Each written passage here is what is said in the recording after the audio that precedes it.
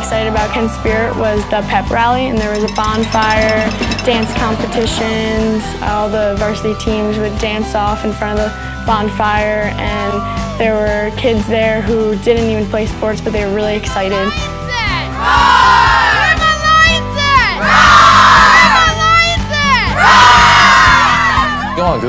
You search Kent School Boat Club, there's an enormous history, both with the history of going to Henley in England, as well as just the history of um, the NERA program in New England's just over. But um, it's an unbelievable history, and I love being a part of that.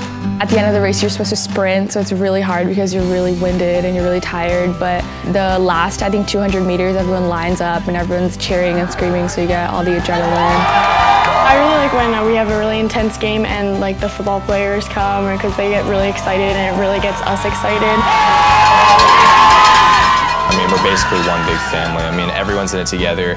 Coach Houston tells us all the time, like, hey, like the future of the program is the new guys, and you were in their shoes once. Um, and I mean, alumni come out all the time to come see races. I'll see alumni here who graduated in like the 70s or 80s who just wanted to come see a Kent race back on the Housatonic because they had some free time. It's really great that we're all like connected. Our send-off is KSBC. Let's go, Kent.